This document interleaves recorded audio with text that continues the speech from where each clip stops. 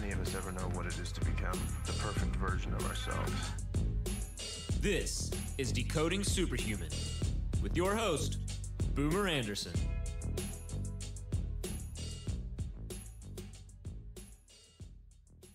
What's up, guys? It's Boomer Anderson here, your host of the Decoding Superhuman podcast. The aim of this podcast is really to explore the vast world of health. We go all the way out to the fringes and back to the mainstream.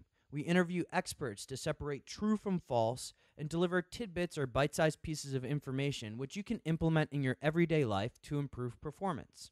This podcast is brought to you by the ring on my finger. No, I'm not married yet, and I've avoided wearables for a very long time. I've tried a few.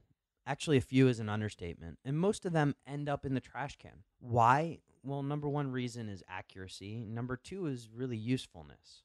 But when I heard about this next technology, I, I must admit, I was initially a skeptic. I'm not exactly a ring guy, and well, wearables, I mentioned that earlier. But the Oura Ring is so much different. For one, it's a ring, it sits on any finger you you choose, or for some of my friends, their toes. It's a super lightweight device that doesn't really get in the way of anything I do. The beauty of it is all of this data gets output into an easy to read mobile application where I can make choices on what I'm to do that day. Now, for me, how is this valuable in my own life? Well, I'm able to make and see directly the lifestyle and food decisions I make and how they impact items like deep sleep. Now, how accurate is this? Stanford Research Institute went in to buy a couple of Oura rings during Oura's initial Kickstarter campaign. I wish I would have followed them. They compared the oura ring to a standard polysomnography test, which is the gold standard of sleep measurement. And they found that oura was able to determine sleep duration to an accuracy of 96% of the time, and REM sleep to an accuracy 61% of the time. Now, where do you get yours? You can go to ouraring.com and order one of three different colors. You can get the oh so loud white, the mere black, which is what I have on my finger, and the manly, rugged and manly matte black. If you plug in the code BOOMER, as in my name, B O O M E R, you get 10% off, which is pretty cool given the price of the device. They'll send you a ring kit, you'll try on the ring, and you'll have your new device in your finger shortly. Today, the topic is sleep. And my guest, he's pretty awesome. Dr. Benjamin Smarr, that's S M A R R, studies the temporal structures that biological systems make as they move through time. He is an NIH research fellow at the University of California at Berkeley. Dr. Smarr's work focuses on understanding how physiological dynamics like sleep, circadian rhythms, and ovulatory cycles are shaped by the brain. He also studies how disturbances to those cycles give rise to disease. Dr. Smarr is also an advocate for scientific outreach. He routinely gives public lectures and visits K through 12 classrooms to help promote the idea that by understanding our biology that guides us, we can live more empowered lives. This conversation is really a sleep 101. We get right into it specifically why we sleep and why we need sleep. Do people actually survive on four hours of sleep? We get really into the stages of sleep, why people sleep poorly, and what we can do better starting tonight. This conversation was a lot of fun for me. If you want more information, they're in the show notes. It's decodingsuperhuman.com slash Dr. Smarr. That's S-M-A-R-R. And doctor spelled D-R. I hope you enjoy this conversation with Dr. Benjamin Smarr. Dr. Benjamin Smarr, welcome to the show. Thanks, Boomer. Before we get started, I, I just want to share a little bit about the story of how we met. And I just may embarrass myself a little bit here, but I'm sure, or maybe you don't recall, uh, back at the Quantified Self conference in Amsterdam, I, I was giving a talk about sleep genetics. And I have to admit, it was absolutely intimidating to walk into the room, introduce myself to you, and find out that you study sleep professionally. That's really funny. I thought you did a great job. I was really encouraged. That's why I wanted to then, you know, approach you afterwards and and have these conversations. Uh, well, I look forward to all of the conversations we have in the future, and I hope to bump into you, you know, all the time at these conferences because sleep is a, a favorite topic of mine, especially since I, have left mm-hmm. the investment banking arena. But I think it's often really misunderstood. And also, I think people don't really understand uh, a lot about why yeah. they need sleep. And uh, this is why I want to have this conversation today. So, just for the audience, before we get started, what we're really going to do today is talk about the foundations of sleep. Think of this if I go back to my, my college days, think of this as Sleep 101 with, uh, with Dr. Benjamin Smarr. Uh, so, Dr. Smarr, are we okay to get into it? Let's do it. All right. Let's let's start with a really basic question, one that I've always struggled to give a succinct answer to. Uh-huh. What is sleep? Well, it's a great question. And one of the reasons it's hard to give a succinct answer is that sleep is lots of things.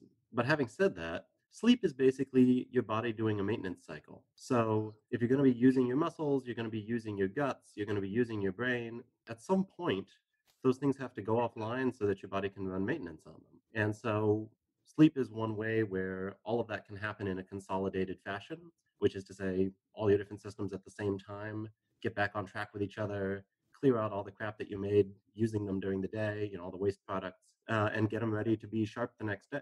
Beautiful answer. I'm sure we'll get into some of these waste products in a little bit, or perhaps in further talks. So I think you touched on this a little in your answer of what is sleep, but why is it actually important to us? Well, of course, those two dovetail, right? So, I mean, it's sort of like saying, I know what a mechanic is, but why do I care about a mechanic? if you know that a mechanic exists because cars break, then like, okay, well, I guess it's important in case cars break.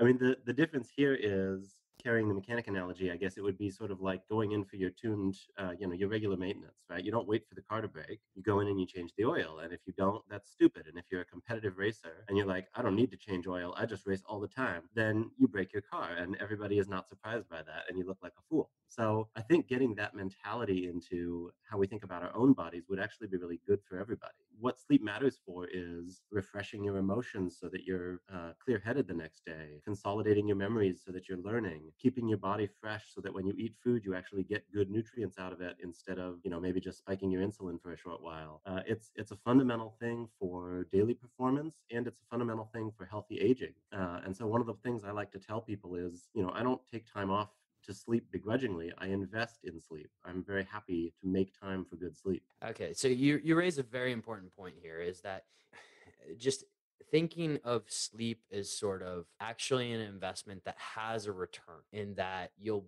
be a better performer the next day because we know that your brain and we know from recent research actually not so recent research that things like the glymphatic system clean out your brain help you focus a lot more during the next day. So looking at it really as kind of an investment that you make with a high return in terms of your mental performance is that right? Absolutely right and actually i mean the glymphatic stuff is still very new we don't know much about that uh, that was just a few years ago that the first study was done uh, whereas you know thinking about healing from wounds or consolidating memories i mean there's whole libraries on that subject. So this the glymphatics is very new, and what that is, it gets back to these waste products that you mentioned wanting more detail on. So so we can just use that as an example. When your brain is active, which is of course all the time, it's generating waste products from burning fuel, just like anything does. And so when you're active during the day and you're you're thinking really hard, you're focusing a lot, um, you know, you're you're trying to do all these mental gymnastics to be super competitive at some intellectual job, that generates a huge amount of waste. And some of it is cleared out by your blood,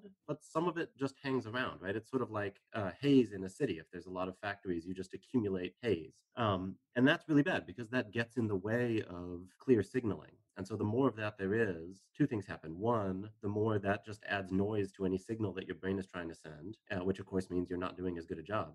And two, it starts signaling to the neurons that they should want to shut down and sleep. So actually part of feeling tired is your neurons and your glia feeling those waste products, you know, sensing them and going, wow, we've generated a lot of waste. I guess we should probably shut down and do a maintenance cycle. Let's make the body feel tired so that we can do that. Uh, and so you you can ignore it to a certain extent, but all that does is just let your city get hazier and hazier. And so then when you sleep, what you're letting happen is you shut down the factories, or at least you you put them onto sort of a back burner mode, and you let the wind come and clear out all that haze. Uh, and the way that can happen is a lot of the glia, which are these support cells, you know, they're, they're not neurons, they're not sending rapid electrical signals, so they're not as cool and they haven't gotten as famous, but they shape the neurons and they, they feed the neurons and they do all the support work. They will actually shrink down physically a little bit to get out of the way. And what that will do is increase the availability of flow. So it'll increase the flow through of uh, cerebrospinal fluid so that you can carry away all of this waste product more efficiently. And of course, what that means is they're not filling up the volume they normally would. They're not as close to all of the neurons and doing all the jobs they would normally do. So you can't really do that effectively while you're awake. You do it a little bit, but you do it much more when you let them take a downturn, you know, down cycle, uh, and then that lets you clear all this crap out of the air, as it were, and then you have a nice fresh, clean city that you can do stuff with uh, instead of people don't want to go outside and they have to wear masks. So it, you know it's the same in your brain. You can keep your neurons happy. You can keep them working fast by letting them do this clearance. Okay, Ben, I, I want to dive right into it. Can we talk a little bit about the different stages of sleep? You know, what are the differences between REM and deep and light, awake, etc. Yeah, absolutely. Uh, and that's of course thing that most people know about sleep, right? As you go through these stages, stages have different frequencies of brainwave associated with them. We know a lot about sleep stages, and yet that's become a little bit limiting in terms of how we actually learn about sleep as a whole body system, right? Because we have these ways of measuring brain waves, uh, EEG, then you know, which is all the electrodes on your scalp that you see in movies when someone goes into a lab, whatever. That, or my house on a weekend. yes, totally, exactly, right. Like all of us hobbyist EEGs do. Um, you know, you, you should be careful if you ever come over for dinner. Sometimes, sometimes I try to talk guests into becoming subjects. Um, I, I, will gladly volunteer. Actually, you don't awesome. even me into it. so yeah, so what that has meant though is that a lot of the focus on sleep research has been only through that tool. And so when we think about how is it affecting hormones, and by it I'm sorry, I mean sleep stages, how are sleep stages affecting hormones or body temperature regulation or for example glymphatics, a lot of that is really unstudied uh, or very lightly studied. And so there's a lot of my research these days is actually stepping back from the EEG and saying, okay, we know about what the brain is doing, how is that coordinating other systems? And how are those systems feeding back and affecting the brain? Uh, so to get to your question now, sorry, with a fair amount of pre- no, you're t- you're touching on what I, I preach all the time, which is this whole concept of the systems approach to health and how everything interrelated. It's it's thinking about your body as a system because you know, of course it is, right? Your pieces don't get disconnected until you're dead and being dissected, and that obviously is not when you're at your best performance. So when you're asleep, technically the way it's broken down into is uh, three stages of non-REM sleep, or NREM, and then REM sleep. And so uh, N1 is that first stage, and that's what I tend to refer to as uh, classroom sleep, right? So you're in a lecture hall. We all remember this. You're in a lecture hall. You sort of have a tripod with your, you know, fists on your chin, and you're nodding off, and you, the buddy guy, the, the buddy next to you says, "Hey, hey, you know, you're, you're sleeping," and you go, "No, I'm not. I can hear every word." But you're barely there, right? So that's sort of your brain is starting to disengage, but it's still really easy to bother you. So it's like freshman year in college for most people. Exactly, especially if you had a, I mean, 8, 9, even 10 a.m. class, right? Mm-hmm. Exactly. Stage two, N2, uh, that's then more classically sort of light sleep. And it's much harder to wake you up, but you're still rousable. And that goes into N3, which is then deep sleep. And so uh, deep sleep is traditionally thought of as the sort of physically most restorative sleep. It's correlated with higher levels of growth hormone being released, for example. And so that's what happens. You've worked out really hard, or you've cleared land, or whatever you've done. Your body is very tired, and you just black out, right? You don't have lots of dreams, you just hit the mattress and you're dead. Uh, that's deep sleep. But after deep sleep, then you come sort of all the way down through and back up to REM sleep. And in REM sleep, the reason I say back up is your brain, your cortex, especially the surface of your brain, looks a lot like it does when you're awake during REM sleep. Um, so when you're in uh, either REM sleep or awake, there's just a lot of high frequency sort of cackling electronically going on in your brain and that's because you the cortex is being used it's trying to process things it's trying to make sense of things. When you're awake it's whatever you're doing right? So right now i'm thinking about boomer i'm thinking about podcasts i'm thinking about making sure i talk about sleep right and all of my brain is trying to coordinate on those activities. When I'm asleep, when I'm in REM sleep, there's no longer this external reality keeping them all on the same track. And so as a result, different parts of my cortex will start to rehearse whatever they thought was interesting or important most recently. Uh, and this is actually, it seems to be a lot of where dream imagery comes from, right? So I've got part of my brain thinking about, I nearly avoided a traffic accident. I've got part of my brain thinking about, I have to rewrite this paper. I've got half of my brain thinking about, wow, I can't wait to go and play with my chickens over the weekend. And so I start having weird dreams about almost getting run over by chickens that are trying to, you know, herd me into writing my paper. And it's all these parts of my brain trying, and, you know, one part of my brain is still trying to make sense out of all of these things. And so then I have these weird dreams. So REM is sometimes called paradoxic sleep because it looks a lot like wake, even though you have to have gone through the deepest layers of sleep normally to get there. The other, the other stages, the non-REM sleep, those are usually called slow wave sleep. Uh, and the reason for that is instead of this high frequency cackle of real activity, all the neurons in a given area will start to get coordinated. And so if you monitor the entire head, you'll see these waves of electrical potential propagating across the brain, and it's very ordered and it's very regular. Uh, and that's uh, you know that's where a lot of the restorative, physically restorative work is happening. So you've been active, every part of your brain thinks it w- was doing something important. You've got to sort of get them all on the same channel and bring them all down to baseline again before you can start doing your REM sleep rehearsals. Uh, because basically, what happens is you you don't want your skull to explode, right? You you want to grow synapses that are being useful, but if you grow all of them every night, you just run out of brain space. And so you have these nice slow waves that are helping to, you know, basically get all of the neurons on the same channel about, okay, well, what was really important today? Let's get rid of all of the petty stuff. Let's all calm down a little bit. And then let's take stock and say, okay, now that we've now that we've chilled out, what do we still think is really important? Let's focus on that. In this stage, this is really the memory consolidation. And if I was a bodybuilder, this is where my muscles repair itself. Is do I have that right? Well, it's the relationship that's really important. So this is a, this is a sticking point, and it's it's a tricky thing. Uh, you'll often read, you know, deep sleep is when you heal, or REM sleep is when your memories are consolidated, uh, and it's really not the case. If you don't get any REM sleep or you don't get any deep sleep, you know, even if you get eight hours, it's not going to be nearly as restorative in either case. What you need is those cycles. What you need is to to sort of prepare the land and then focus on what's important a little bit, let things grow, and then repeat the cycle. Trim that down and then pull up the parts that are still really important, and then trim that down and then pull up the parts that are really important. And that's a refining process. And if you don't have those cycles, then you aren't going to be either as healthy or as good uh, mentally refreshed as, as getting as good memory. Uh, and so that's one of the things that's really difficult to get people to see is it's not just how many hours did you sleep. It's not just, you know, look at my REM score from my It's were you getting good stable cycles? Uh, and those cycles, of course, they're a little harder to track, so it's a little less sexy already in the market. But as the trackers get better and better, I think it'll be easier for people to start to see that, and hopefully that'll catch on. Okay, so I think you just touched on it quite a bit, and I think we can almost go through this question. But uh, so constituting good sleep is really about having that cycle follow each other and progress up and up. Is that Absolutely. correct? Absolutely. Good sleep is enough sleep, but that is very different person to person. Some people really can get away with a few hours, and we'll probably talk about that more a little bit later. But most people, it's somewhere between, call it, you know, seven and nine hours. But the really important thing is whatever the amount that you get, the stability of that sleep is what's really important. That you go to sleep roughly the same time, that you let yourself go through these cycles to completion. You know, one of the great evils of the modern world is the alarm clock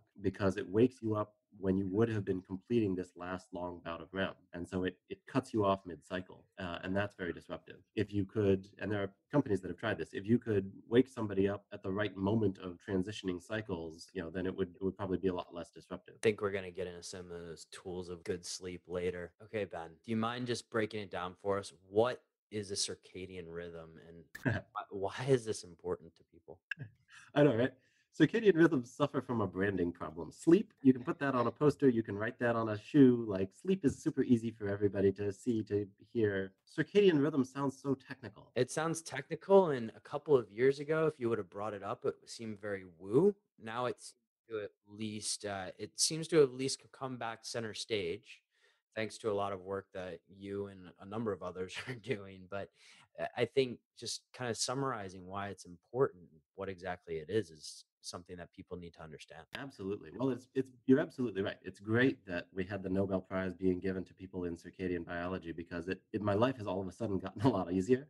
You know, normally people go, "What do you do?" "Oh, I'm a circadian biologist." What the hell is that? Um, so, and that's that's actually part of why I got into sleep was it was just so much easier to talk to people about sleep. But sleep uh, actually depends on circadian rhythms. So, what circadian we can break it down. Right, circa is about dia is day. So it just means it's it's biology about a day. And what that comes from is we all evolved on Earth since we were little single cellular organisms. And obviously, if you can see something coming and get ready for it, you can deal with it a lot more efficiently than if you just react to it, right? I mean, that's why we do our homework. Evolution said, well, gee, there's this really regular pattern of where it gets really hot, really bright, really good for photosynthesis, really bad for sunburns. Why don't we just anticipate that and get ahead of it every day instead of being surprised when all of a sudden we're too hot now? And so circadian rhythms are just biology's response to the fact that the day exists and is regular.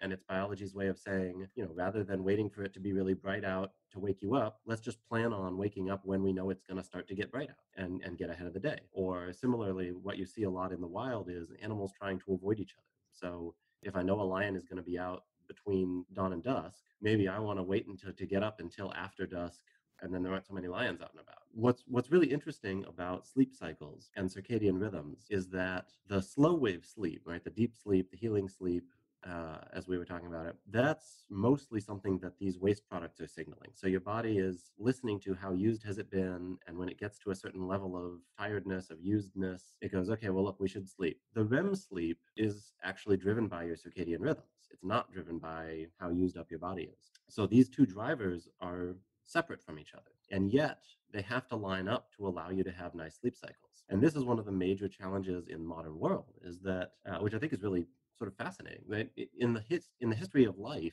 there was no reason they wouldn't line up. You'd get up, you'd go be active for a while. By the time you're tired, that's about the same time every day, and so you can anticipate with a timer when should REM sleep start. Because we now stay up to watch Netflix or work extra late or get up with an alarm clock or whatever it would be, do jet lag, the amount of physical tiredness we have no longer is the same day to day.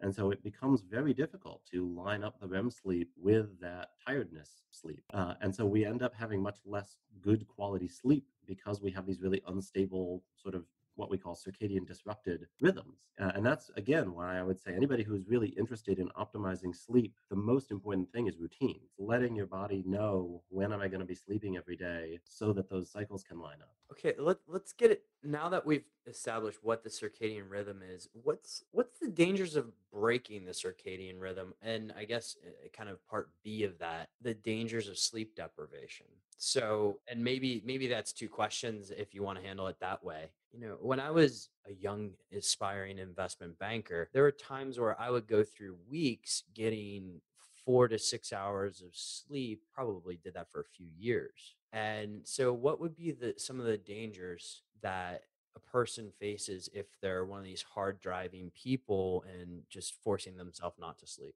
Um, I mean, we've all done that, right? And I'll start with a hopeful message, which is that the longer you don't do that after having done it, the more your body is able to heal. So, so you haven't necessarily permanently damaged yourself, but we all do. That, that's refreshing, by the way, as somebody who did this for years.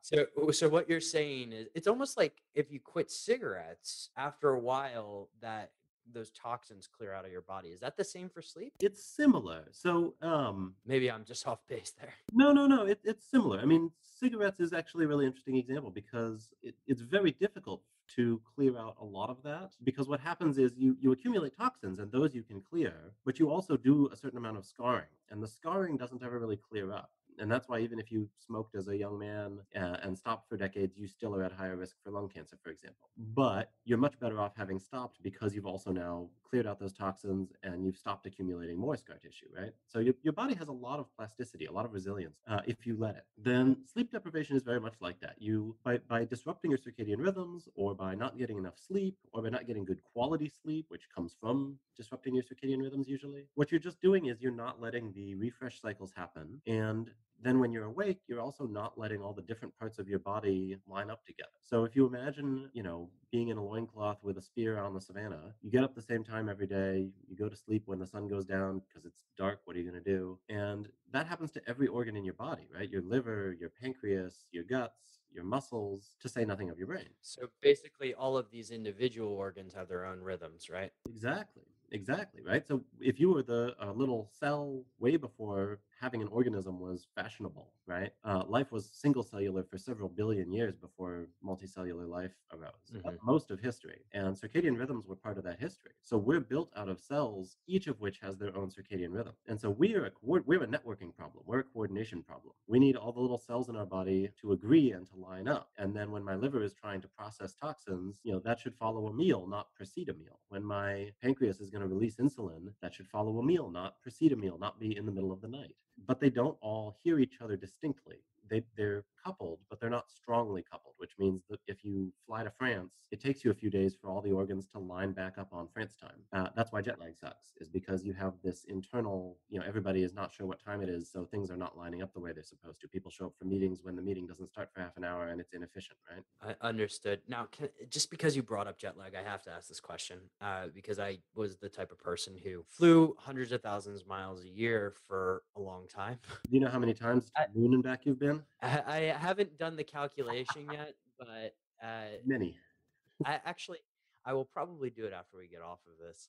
But I want to um I have to ask the question. If you go, let's say you're switching time zones twice a week, and do your organs ever get really a chance to line up? I, I mean, this seems dangerous long term. Exactly right. Exactly right. The they really don't is the short answer. I mean, there's there's you know maybe if you go from Indiana to New York City and back, that, that's less than going from New York to China and back, right? But they really don't. Basically, what you're doing is you're just letting all of your organs run at whatever time they're able to, and you're never giving them time to catch up and realign. And so, you know, your insulin is not being regulated as well, and your risk for obesity goes up, which is exactly what we see. Uh, your cell refresh is not happening at the right times, and your risk for cancer goes up, and that's exactly what we see. Uh, arthritis, heart disease, depression, early onset of dementia. I mean, just you know, infertility, anything you want to name, because it's happening in your body, and your body is a network. When that network is disturbed, I might not be able to tell you exactly which node in the network is going to go strong first, but I can definitely tell you that you're at risk of breaking your network much more than somebody who is letting it line up nicely. This is, this is fascinating to me because there used to be times where you know I would get off the flight from London to Singapore and for uh, which I've done multiple multiple times and your brain just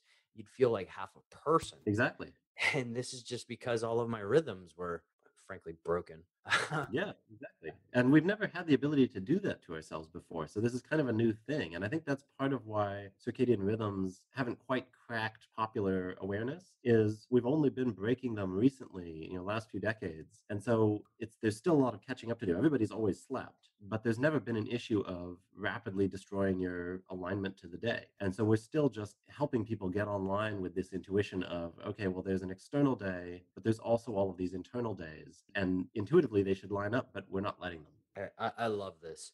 All right, can we can we delve into the genetics real quick? Sure, yeah. Um, on it, because it's so recent with the Nobel Prize and everything. Let's talk about period and clock genes. Awesome. Do you do you mind just touching on how those play a role in our circadian rhythms and how each individual may have different circadian rhythm? Yeah, it's a great question. Um, and let me start by saying, you know, the, the Nobel Prize was in flies, but a lot of the genes, because they're so ancient, right, because they go back to when we were all just one cell, um, a lot of the clock genes are conserved across all of evolution. And so the flies gave us a huge insight into the way that mammals work and then the way that humans work. And in fact, the very first gene that proved that genetics can affect behavior was period. And that was the work that preceded this Nobel Prize. And the behavior was it changed the circadian rhythm if you had a mutation in your period gene. Uh, and that was, I mean, that was a big deal that it really confirmed yeah, your genes actually affect who you are and not just you know how you're built. So the way the genes work, you can think of it as a sort of a feedback system. So usually there's what we call positive genes, and those would include clock or BMAL. Uh, clock is obviously going to be the one that is easier to remember. A a whole family of them, and those are activators, and so they will activate things like period. And period, of there's also a family. There's period one, period two, period three, uh, and there's a bunch of other genes that these positive things activate. But then they activate what we call the negative actors, the negative factors, and those negative guys repress things. And so what you get is a feedback cycle where because proteins are always being broken down, none of them will stay around forever. So you make some positive guys, those make some negative guys. The negative guys repress the positive guys. So now you have less positive guys. But after a while, you don't have any positive guys. So there's nothing making the negative guys. So now the negative guys get broken down and the positive guys stop being repressed. So now you're making positive guys. But that means you're making more negative guys. So it goes negative, positive, negative, positive, negative, positive. And when that wheel takes 24 hours, that's a circadian clock. There's other instances of feedback like that that happen at different time scales. And, you know, within a day, you have a bunch of these things happening. But there's a whole set which are specifically trying to match that 24 hour rhythm. And so those are what we call your clock genes. And they're in these feedback cycles of somebody not letting somebody else go until they've been broken down. And then that sort of releases the pressure and the next piece can go. And then that releases the pressure for the next piece. And it, it's a, you know, it's like a Rube Goldberg flywheel kind of thing. So it, when you're talking about bad guys, are, are these things like adenosine and uh, that build out build up throughout the day, or is it something else? Yeah, when we're talking about the waste products, exactly. Adenosine is a great example. Um, and there's, I mean, there's a million sort of small molecules that are the results of having broken down larger things or the results of metabolism. Um, but yeah, adenosine is a, a classic example. And adenosine is definitely one of these things that's well studied that your neurons are listening to and going, oh, wow, there's a lot of adenosine around. I guess it's probably time for us to think about going to sleep. And in fact, one of the ways that coffee works is it blocks those receptors for adenosine. And so then you feel awake because you're you're removing that sleep pressure. Uh, I mean, it, it does a number of other things too, but that, that's one tie-in. So absolutely. Okay, now uh, with with genetics, is it possible that people have, uh, let's say, for instance, my girlfriend is a, an, uh, you know, I think the night owl is a common term used. Yeah, yeah. Uh, Is it possible that you have, you know, people that genetically code to be night owls, whereas, you know, a person like me who wakes up way early? Honey, it's not my fault. It's my clock genes. yeah, exactly. Uh, it can make that excuse that it is my genetics that caused me to wake up. Now, uh, is that is that the case? Yeah, it seems to be. I mean, there's this is something that we're still studying, and there's a lot of uh, variability person to person. But generally speaking, you know, we've described this genetic flywheel. You can imagine if you had a mutation that made one of these genetic pieces stickier or less sticky, that would change the speed of the wheel, right? And so these mutations in the clock genes, it really does then correlate with uh, how early or how late a person you are. So we tend to say, I mean, this is you know, this is sort of off the cuff stuff. It's not precise terminology, but we tend to say people are larkish or people are owlish, right? So a morning lark gets up really early, hmm an owl stays up really late. And if your clock genes cycle slightly faster than 24 hours on average, that will make you an early person. You'll get up early, but you'll also want to go to bed early. And if your genes cycle slightly longer than 24 hours, which is actually most of the population, then you'll start your day a little bit later and you'll want it to run a little bit longer. So you'll go to bed later. And that changes across your life. So when you hit puberty, uh, you know, sex hormones come up and those tend to make everybody want to get up later and stay up later. When you get older, then those tend to come down and you tend to want to get up earlier and stay up earlier or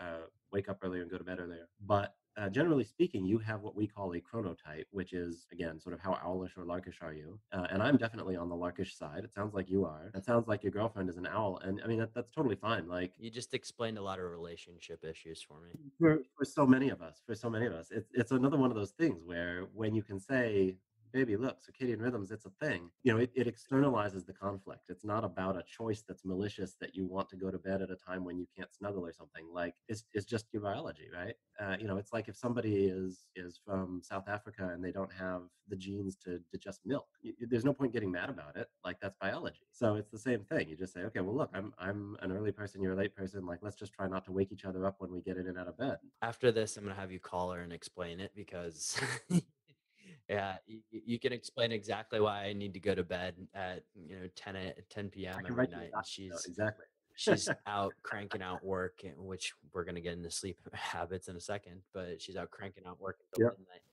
Um, but okay, I love diving into genetics and sleep and all of these kind of things and how we're just so individually different. Yeah, I love that. That's it, man. It's and this is actually why sleep is so hard. Is we're all so different. That there's some conserved things, right? So I mean, you can learn from fruit flies about some of the genetics. That's very conserved. But we all are different. And this idea that well, everybody has to have eight hours, everybody has to go to bed at 10 p.m. Like, there's nothing in reality that is good for everybody. So we need to get away from that. And the problem is, science generally works by taking So this has been a lot of my career is trying to find new ways of doing the science where where what I call it is embracing the heterogeneity or celebrating the diversity, right? Is how do we look within individuals for patterns that then abstract across people rather than just glomming everyone together into one big blurry average that isn't very informative. Exactly why I dove into the health field is because I everybody's individual and Yeah. it's just from sleep to exercise everybody responds differently to different things and if once you find that way to do science on individuals and that uh, I, I'm right alongside with you, uh, linking arms there. Now let's let's go a little bit into what people do poorly when it comes to sleep in terms of just what are some bad habits that people have that they may be able to change even tonight uh, to get better sleep. Yeah, well, sleep very much is a habit. I mean, you can you can sort of get your clocks, your circadian clocks, used to the time at which things should happen, uh, and so you can have sleep habits that make it a lot easier to both go to sleep and stay asleep. One of the things that has gotten a lot of coverage recently is blue light. Uh, and so that's that's a real thing. You have cells in the back of your retina, actually the front of your retina, but it's the lowest level of your retina. These ganglion cells that are blue sensitive, and they're trying to tell when is it the day. They go directly to your central clock in your brain, and if you shine, you know, the Windows background at them until midnight. They're just sitting there going, I don't know, I can still see the noontime sky. It's bright blue out. I guess it's the daytime. And so they're screwing with your clock. Now, the problem is they're also getting information from all the rest of your eyeball. So just blocking the blue light isn't as good as actually being in the dark, but it is a little bit better. Um, so these apps that you know make your phone turn yellowish as it gets later, they're not a miracle cure, but they actually are better than nothing. So if I'm cranking away on my computer late at night, you're saying that one of these like F. Dot Lux or I, my favorites Iris are are better than nothing. They're better than nothing. They're they're not magical. They're not going to make everything work just fine, but they are better than nothing. And another thing you can do is turn your screen brightness down as much as possible. Um, and one of the things that I think is really neat is, as far as we can tell, firelight doesn't really have a big phase shifting effect on your clock. Uh, and so, which, which is is not well studied, but which there's evidence for that's fairly convincing to my eye. Um, so if you can make it look sort of like a red light, you know, like you're in a developing studio or something, that probably is way less impactful than dim blue light would be. Okay.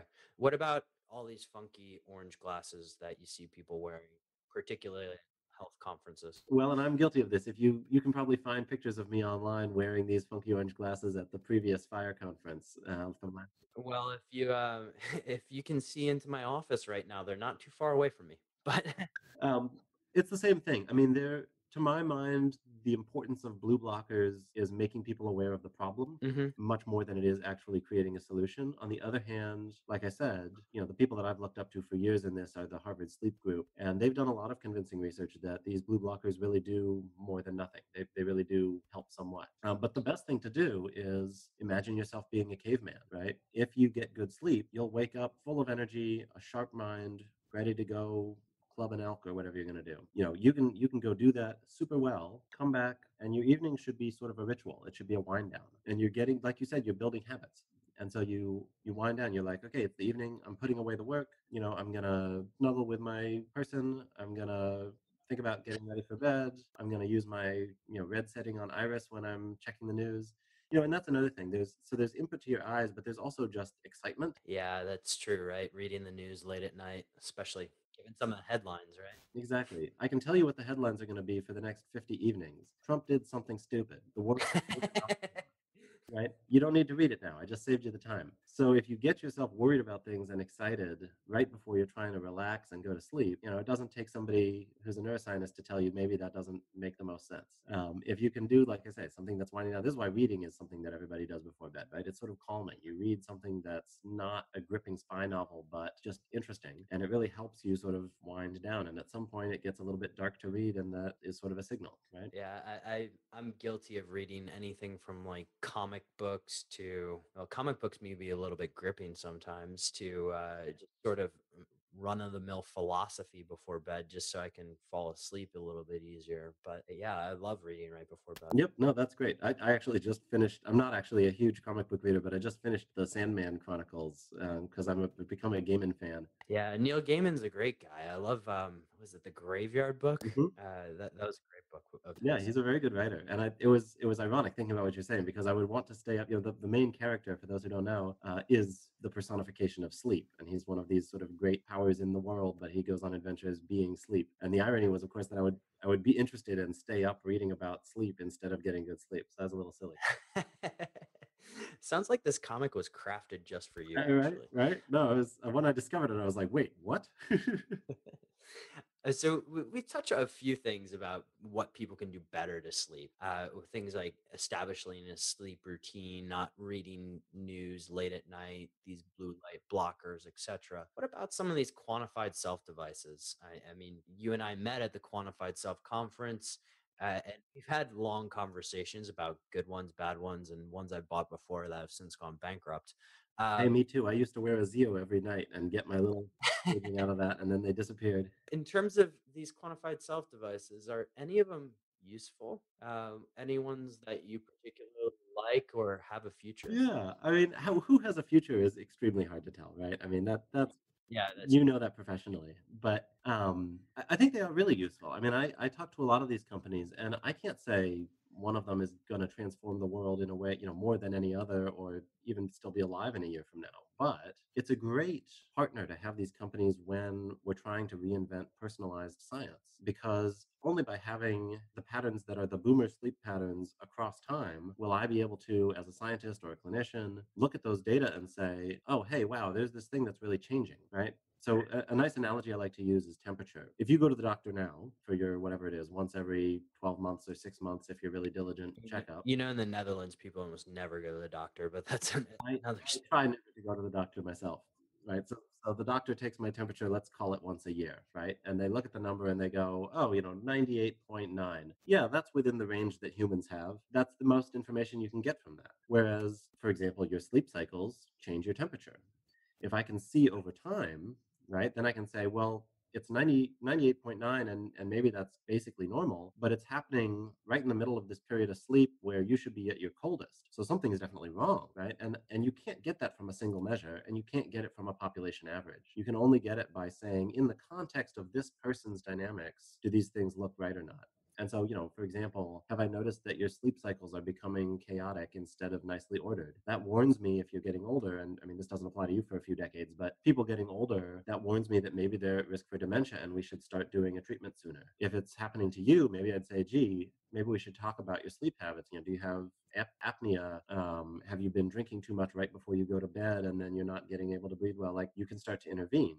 Whereas if all I say is you got, you know, 30 minutes of REM and you got six hours of sleep, like that doesn't really tell me anything because compared to what? How do I know whether that's good for you or not? And so these tracking devices, they're experiments. They're trying to say, well, like, do we care about heart rate? Do we care about heart rate variability? Do we care about activity? Do we care about your social apps? What can we learn from your Facebook activity? Like all of this stuff, we, we don't know what the best answer is. And there will be different best answers for different people. So, you know, my parents probably don't give a lot of Facebook activity and you couldn't track them as well as my students because that generational divide changes how we interact with the world. On the other hand, you know, heart rate is something everybody has uh, breathing rate is something everybody has temperature is something everybody has. So what are the patterns? How do we help people be aware of those patterns and and take care of themselves until the science catches up to have really good personal advice? Um, but you hear a lot these days about personalized medicine or personalized predictive wellness. All of that can only happen if people have personal data trails to compare to. So while I think in the very long run, these wearable devices are sort of a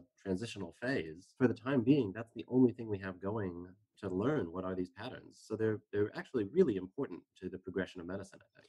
I, completely agree with you. And I, I just, you know, in my own life, I use them and I think where people go wrong is they they buy a device and they expect it to do the work for them. And right. I I'm of the opinion that if I can get a device that'll get me paying attention to a particular habit I have and give me data on the effect of that habit and I'll give an example here in a second that is very very useful and the example I always give is if I eat particularly too close to bed well obviously your your, your metabolism's active well into your sleep and then therefore my lowest resting heart rate gets pushed back later in the night and i don't feel as great in the morning. And that's just a simple experiment. So what do i do? I just kind of bump my my sort of final eat, eating time can't speak today uh, my final eating time back earlier in in the night and it yeah. helps my sleep and my recovery so much better. That's a great example and i mean i think this is going to be how doctors keep their jobs in the future because like right now an ai can do radiology scans faster and at least as accurately as a given radiologist. So being just technically knowledgeable is not what's going to keep humans useful in the workforce. It's having these relationships. It's saying, here's my data, that's helping me to be aware. Who's somebody that knows about this kind of awareness or that knows about what I carry? I'm eating or sleeping or whatever it is, that can help me interpret my data, that can help me make better decisions, that can sort of be a coach and a buddy. Um, so, I, you know, I have this vision of the future where clinicians and scientists and interested citizens have a much more interactive ecosystem. And my science is driven by you and me generating data with other people that share our interests and saying, well, what are the patterns? How do we quantify that? How do we build, you know, algorithms that can detect that early? Working with clinicians that are interested in that area of care, saying, oh, well, if that's what you care about, here's things that we would do, here's interventions, you know, and then the, and then you coming back and being like, yeah, this worked, this didn't work, I don't understand this piece. That's a virtuous cycle. Uh, it just takes breaking down the silos in a way that are not, you know, the motivations within in society right now don't support that. Um, so that goes hand in hand with building the science is, is building the motivations so that people are rewarded for stepping out of their silos that way. But I think I think that's exactly the way to do it. It's not that the device is going to solve your problem any more than you're going to take a pill and stay up all night eating cupcakes and be healthy. It, it's having a relationship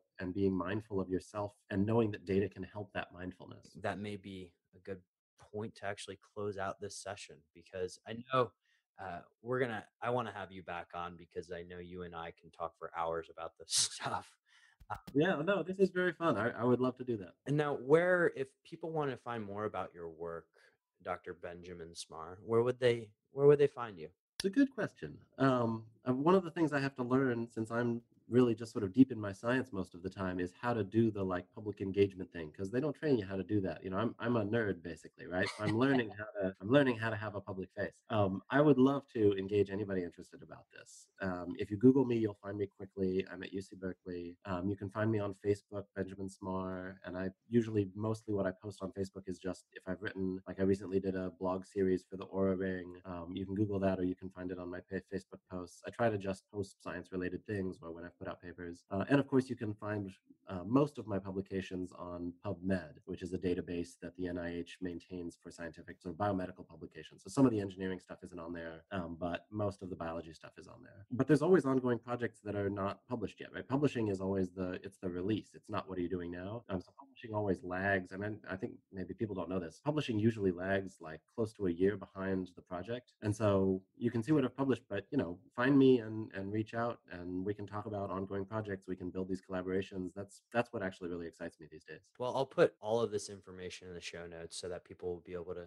get a hold of you quite quickly. Oh, great. But Ben, thank you so much for joining me today, and uh, it was such a fun and you know intelligent conversation, and I, I really feel like uh, people are going to learn a lot, and I learned a lot. So thank you so much. Yeah, well, it's a real pleasure, Boomer. Thanks for reaching out. Um, it's nice to get the feedback. I never know whether I drift off into weird nerd space or whether I'm sounding intelligible. So that's it's nice for me here too. No, it, it it was extremely helpful. So thank you again. All right. Well, I'll see you next time then. All right, take care, Ben. Bye bye. Just one more quick thing before we go. If you really liked what you heard today, can you go over to iTunes and leave us a five star review? Not only would it help us launch the Decoding Superhuman podcast, but it would also help us spread the word about precision health all around the world. If you can go over to iTunes right now and leave a five star review, it's really appreciated. Thanks again for listening, and I look forward to hearing from you soon.